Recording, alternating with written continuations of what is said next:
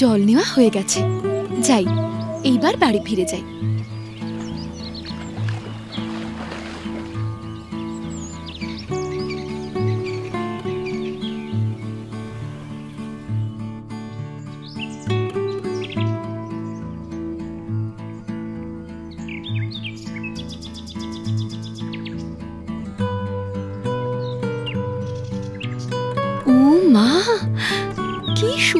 হলুদ পাখি।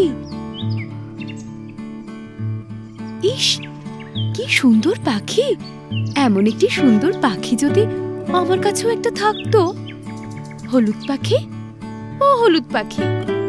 হলুদ পাখি তুমি আমার সাথে বন্ধুত্ব করবে? পাখিটির সঙ্গে বন্ধুত্ব করার জন্য সোনপরি পাখিটির পিছনে ছুটতে থাকে। হলুদ পাখি যেও না হলুদ পাখি। আমার কথাটা শুনে যাও। দাঁড়াও দাঁড়াও ভয় পেও না। হলুদ পাখির সাথে বন্ধুত্ব করার উদ্দেশ্যে সোনপরি কলসি কাঁধে নিয়ে দৌড়তে থাকে। সেই সময় হঠাৎই একটি পাথরে হোঁচট খেয়ে সোনপরি পড়ে যায় এবং সোনপরির কলসির সম্পূর্ণ জল গিয়ে পড়ে এক ধ্যানমগ্ন সাধু বাবার ওপর। সাধু বাবার ধ্যান তখনই ভেঙে যায়। তোর এত বড় স্পর্ধা! তুই আমার ধ্যান ভঙ্গ করিস। আমার বারো বছরের ধ্যান সিদ্ধি লাভ করার আগে আমার ধ্যান ভেঙে দিলি তুই। আমাকে ক্ষমা করবেন বাবা। আমি ইচ্ছে করে কিচ্ছু করিনি। চুপ। একদম চুপ। চোখ থাকা সত্ত্বেও তুই আমায় দেখতে পাসনি। আমার এতদিনের সাধনা ভেঙে দিলি। সত্যি বলছি আমি আমি আপনাকে দেখতে পাইনি।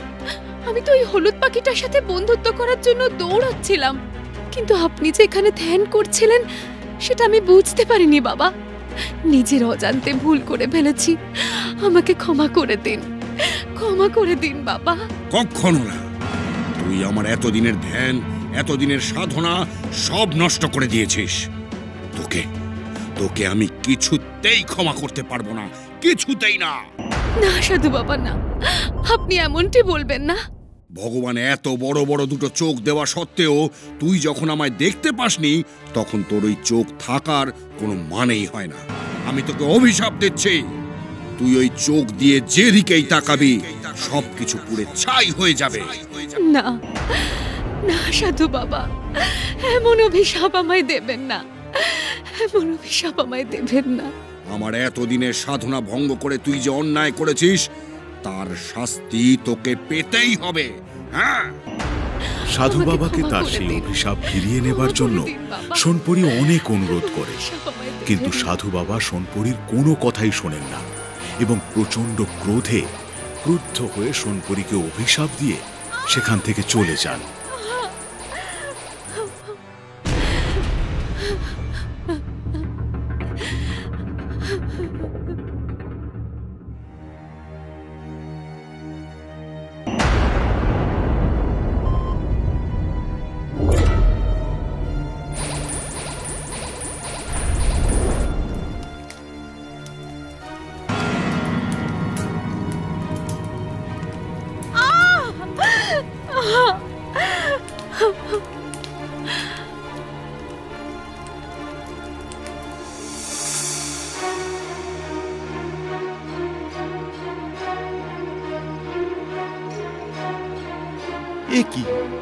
সোনপরি এভাবে চোখে কাপড় বেঁধে ঘরে ঢুকলো কেন?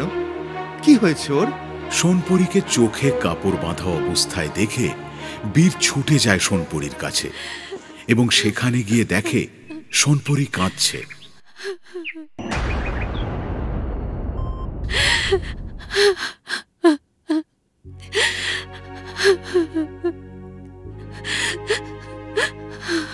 সোনপরি? সোনপরি তোমার কি হয়েছে? এভাবে তুমি কাঁদছো কেন? আর চোখে তুমি এভাবে কাপড়ই বা বেঁধেছো কেন? কি হয়েছে তোমার? কিচ্ছু হয়নি আমার। কিচ্ছু না। চলে যাও। চলে যাও আমার সামনে থেকে। চলে যাও তুমি চলে যাও। তুমি কেন এমন করছ? কি হয়েছে? বলো বলো আমায়। কিচ্ছু হয়নি। কিচ্ছু না। তুমি চলে যাও আমার সামনে থেকে। চলে যাও। আচ্ছা আমি চলে যাব। কিন্তু তুমি তোমার চোখের বাঁধনটা তো খোলো। না না না আমি কিছুতেই এই বাঁধন খুলবো না কিছুতেই না। এই বাঁধন খুললে সব কিছু শেষ হয়ে যাবে। সব শেষ হয়ে যাবে। কি শেষ হয়ে যাবে? কি সব বলছো তুমি? হ্যাঁ আমি ঠিক বলেছি। আমার এই দু চোখ আমার এই দুটো চোখ অভিশপ্ত হয়ে গেছে। এই চোখ দিয়ে আমি যা কিছু দেখব সব কিছু শেষ হয়ে যাবে ধ্বংস হয়ে যাবে। এমনকি এমনকি তোমার দিকেও যদি তাকাই তুমিও পুড়ে ছাই হয়ে যাবে। কি বলছো এসব? এমন কখনো হয় নাকি? এসব তোমার এসব তোমার মনের ভুল শোনপরি না না এসব কিচ্ছু আমার মনের ভুল নয়। সব সত্যি সব সত্যি। আচ্ছা তুমি চোখের বাঁধনটা খোলো। আমি তোমার সামনে থেকে সরে যাচ্ছি। তোমার সামনে একটা আয়না আছে। তুমি সেদিকে তাকাও। যদি আয়নাটির কোনো ক্ষতি না হয়, তাহলেই প্রমাণ হয়ে যাবে। এ সব কিছু তোমার মনের ভুল? বীরের কথা মতো সোনপরি তার চোখের বাঁধন খুলে সেই আয়নার দিকে তাকায়।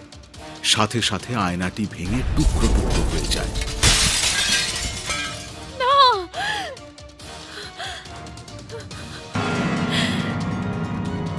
এবার তোমার বিশ্বাস হলো তো? আমার চোখ অভিশপ্ত হয়ে গেছে। সব শেষ করে দেবে। এই চোখ সব শেষ করে দেবে। কিন্তু এমনটা কীভাবে হলো সোনপরি? তুমি আমায় সবকিছু খুলে বলো। হ্যাঁ বলো। আজ সকালে আমি যখন নদীতে জল আনতে গিয়েছিলাম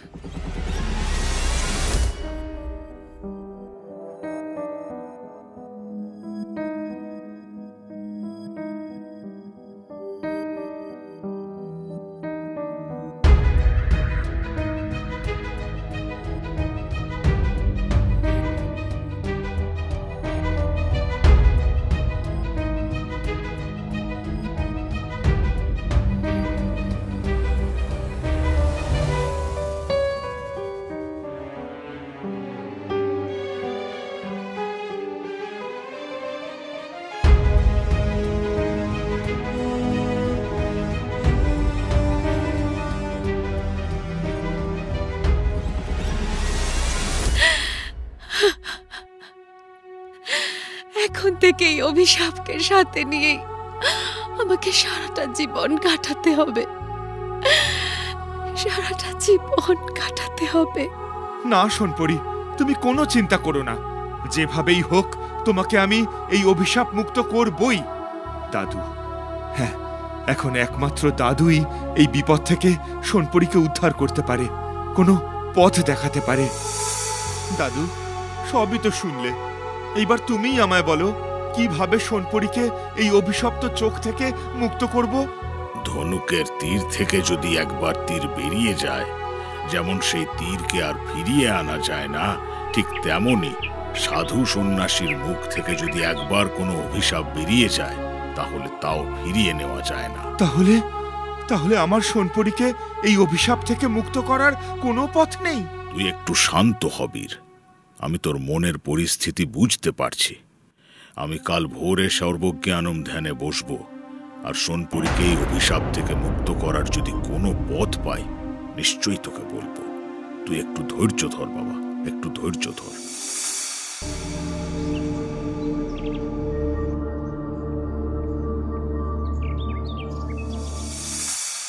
দাদু দাদু কোনো উপায় পেলে?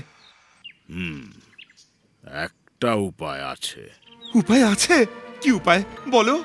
গৌরগঞ্জ রাজ্য থেকে প্রায় সত্তর ক্রোশ দূরে রয়েছে অঞ্জনা নদী। সেই নদীর কিছুটা দক্ষিণে রয়েছে এক মেহগিনি জঙ্গল। সেই জঙ্গলের পশ্চিমে রয়েছে একটি উষ্ণ জলপ্রপাত। সেই জলপ্রপাতের পিছনেই রয়েছে এক পিতলের কলসি। আর সেই কলসিতেই আছে এক নীল মণি। ওই মণি যদি সোনপুরীর চোখে স্পর্শ করাতে পারিস, ওর সমস্ত অভিশাপ কেটে যাবে। ঠিক আছে, তবে আমি এক্ষুনি যাব ওই নীলমণি আনতে। তুই যতটা সহজ ভাবছিস, এই কাজ কিন্তু ততটাও সহজ নয়, বীর। এই মেহগিনি জঙ্গলের পথ অত্যন্ত কঠিন। সেখানে নেই কোনো আলো, নেই কোনো বাতাস, আর এমনই উষ্ণ যে সেখানে কোনো সাধারণ মানুষের পৌঁছতে সময় লেগে যায় এক বৎসরেরও বেশি। কিন্তু সোনপরীকে অভিশাপ মুক্ত করতে হলে তোকে এই কাজটি সূর্যাস্তের পূর্বেই সম্পূর্ণ করতে হবে। দাদু তুমি তো জানো আমার বিশেষ শক্তি আছে।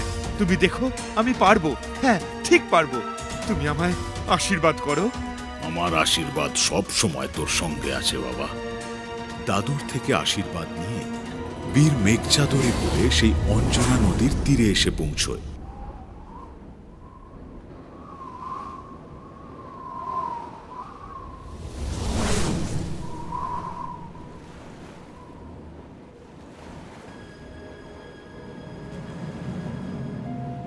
এই তো এই তো সেই অঞ্জনা নদী। এই নদীর দক্ষিণেই তো রয়েছে সেই মেহগিনী জঙ্গল। আমাকে সেখানেই যেতে হবে। অঞ্জনা নদীর ধার বরাবর বীর দক্ষিণ দিকে হাঁটতে থাকে এবং কিছুটা যাবার পরেই সেখানে মেহগিনী জঙ্গল দেখতে পায়।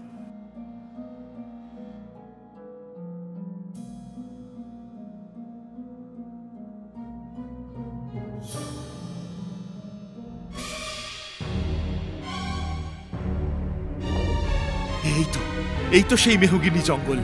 সত্যি, বড়ই অদ্ভুত এই জঙ্গল। চারিদিকে কেমন ধুধু অন্ধকার, কোথাও কোনো আলো নেই। এমন বাতাসহীন উষ্ণ স্থান আমি আগে কখনো দেখিনি।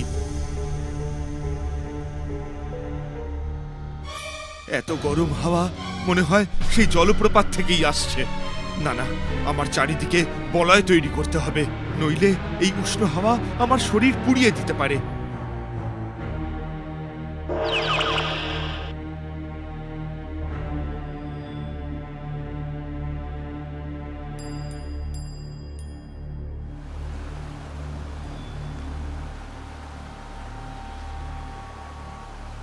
এই তো এই তো সেই উষ্ণ জলপ্রপাত।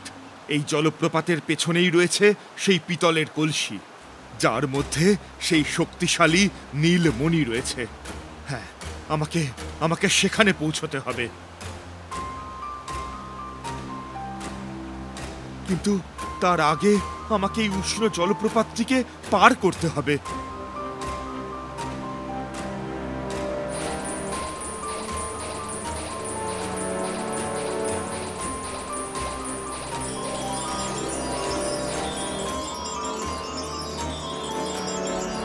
অবশেষে নিজের শক্তির দ্বারা বীর সেই পিতলের কলসির কাছে এসে পৌঁছয়।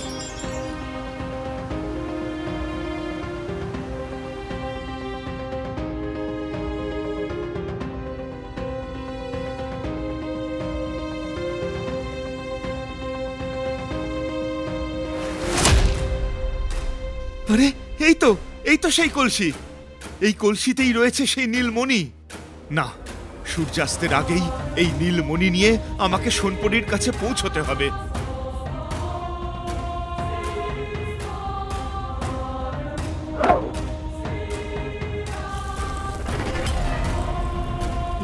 কি? এত কাকড়া বিছে? এখানে এত কাকড়া বিছে এলো কীভাবে? এত বড় সাহস! তুই আমাদের কাকরা বিছার রাজ্যে প্রবেশ করেছিস! আমাকে ভুল বুঝবেন না। খুব বিপদে পড়ে আপনাদের রাজ্যে আমাকে আসতে হয়েছে। আমার স্ত্রী এক সাধু বাবার দ্বারা অভিশাপ প্রাপ্ত। আর তাকে মুক্ত করতেই আমি এই মণি নিতে এসেছি। কে? আমাদের নীলমণি তুই নিয়ে যাবি। তোর এত বড় স্পর্ধা তুই আমাদের সামনে দাঁড়িয়ে এত বড় কথা বলছিস। আমি আপনাদের কথা দিচ্ছি। সোনপরি অভিশাপ মুক্ত হলেই আমি নিজে এই মণি আপনাদের কাছে ফিরিয়ে দিয়ে যাব। দয়া করে ওই নীলমণি আমায় দিন। কখনো না। ওই নীলমণি আমাদের সম্পদ। আমরা কখনো ওই নীলমণি তোকে দেব না। নিজের জীবন বাঁচাতে চাইলে তুই এখান থেকে চলে যা। না হলে আমাদের বিষ দাঁত দিয়ে তোকে আমরা বিষাক্ত করে দেব। না ওই নীলমণি ছাড়া আমি কিছুতেই এখান থেকে যাব না। তাহলে তুই মর সৈন্য আক্রমণ। সমস্ত কাঁকড়া বিছে বীরকে চারিদিক থেকে ঘিরে ধরে। এবার আমাকেও শক্তি প্রয়োগ করতে হবে আর কোনো উপায় নেই। ইয়া!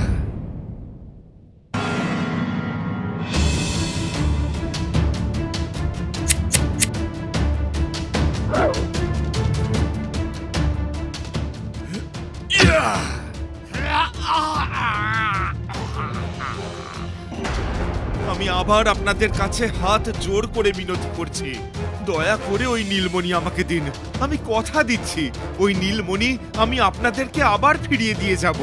কাঁকড়া বিছে রাজার এই পরিণতি দেখে সমস্ত কাঁকড়া বিছেরা ভয়ে পিছিয়ে যায় এবং কাঁকড়া বিছের রাজাও বুঝতে পারে যে সে বীরের শক্তির কাছে পরাস্ত হয়েছে।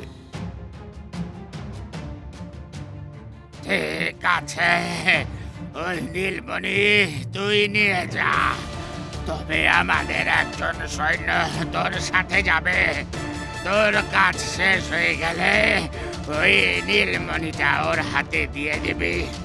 ও সেটা আবার আমাদের রাজ্যে নিয়ে আসবে।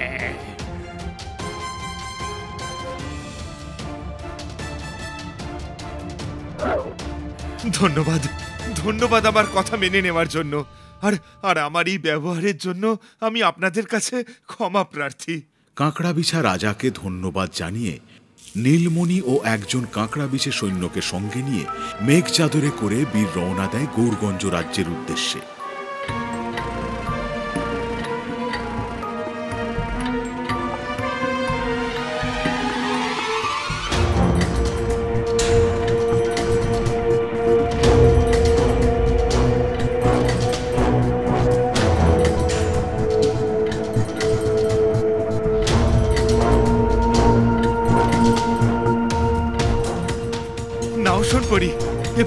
এবার ধীরে ধীরে তোমার চোখ দুটো খোলো তো।